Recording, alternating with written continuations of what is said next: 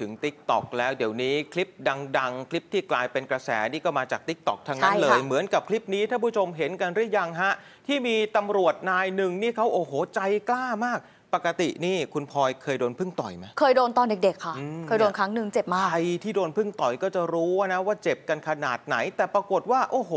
ทำไมพี่ตำรวจนายนี้ถึงสามารถย้ายรังพึ่งได้โดยที่ไม่ได้สวมเครื่องป้องกันอะไรเลยอะไม่มีอะไรเลยเหรอ ไม่มีอะไรมาป้องกันเลยโอ้โห แล้วมือเปล่าเลยนะฮะอะท่านผู้ชมไปดูคลิปนี้ฮะ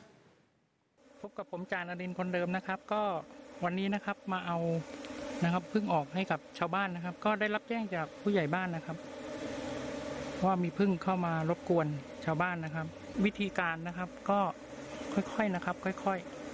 นะครับ เหมือนเดิมครับนะครับ เป็นขั้นตอนที่เราทำอยู่นะครับ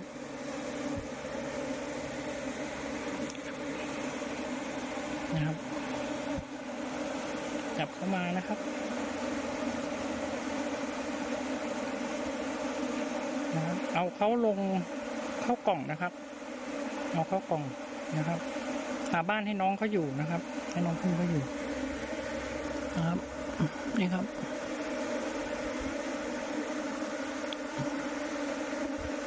ก็คนที่ไม่เคยทำก็อย่าไปลอกเลียนแบบนะครับ นะครับสำหรับคนที่เคยทำแล้วก็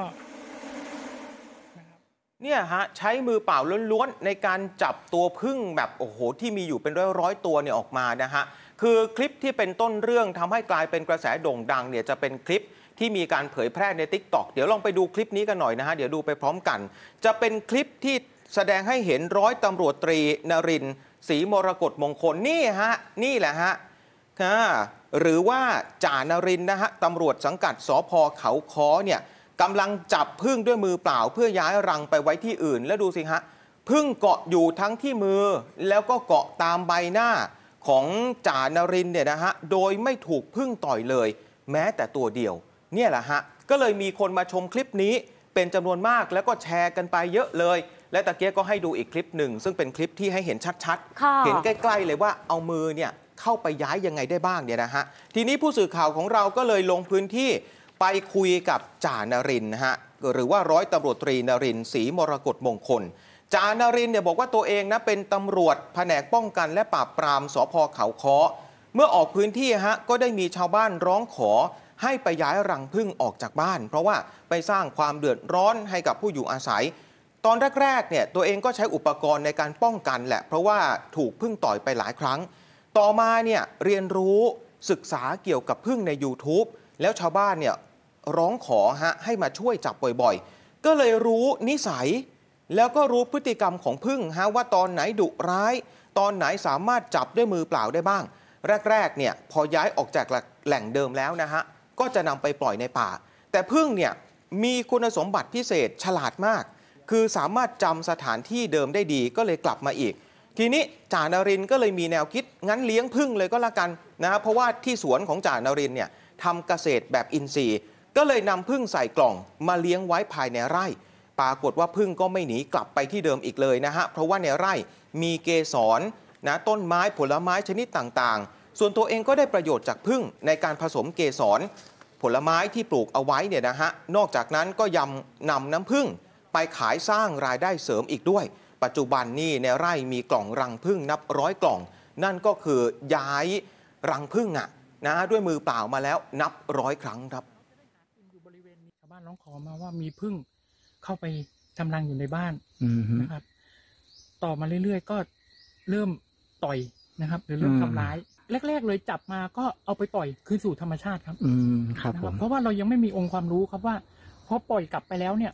มันก็กลับไปบ้านเขาเหมือนเดิมไหนๆแล้วเราก็เอามาเลี้ยงซะ ครับ หาหาหาบ้านให้เขาอยู่ แล้วก็หาอาหารให้เขาก็คือเอาเข้ามาในแปลงเกษตรนะครับอืมครับที่มีแหล่งอาหารสมบูรณ์ ครับ เขาจะได้หากินอยู่บริเวณนี้ แล้วก็กลับมาอยู่ในกล่อง ที่เราอืม จัดสรรเอาไว้ให้เขาจาก จากจากที่เราได้สัมผัสกับกับน้องพึ่งเนี่ยนะครับครับ เราก็หาองค์ความรู้อีกเหมือนกันนะครับอืมถอดบทเรียนมาหาองค์ความรู้ว่าจริง ๆ แล้วพึ่งเนี่ยเขาจะมีช่วงที่เขาดุกับไม่ดุครับช่วงไหนที่สามารถเข้าไปแบบอ่าปฏิบัติการโดยไม่ต้องสวมใส่อะไรเลยอย่างเงี้ย ไม่ต้องมีอุปกรณ์ป้องกันอย่างเงี้ยครับมันก็มีแค่เป็นบางช่วง ถ้าคนยังไม่เคยทำเนี่ยอืมนะครับ ก็ ก็อย่าไปทำเลยนะครับ ก็อย่าไปทำเลยอืมแต่ถ้าคนที่เขาเคยทำแล้วเนี่ยเขาก็จะเริ่มรู้แล้วเขามีประสบการณ์อ๋อนะครับครับเขาก็อาจเขาจะอาจจะไม่กลัวแล้วเขาอาจจะไปลองผิดลองถูกของเขามแต่จริง ๆ ถ้าคนถ้ายังไม่เคยเลยเนี่ย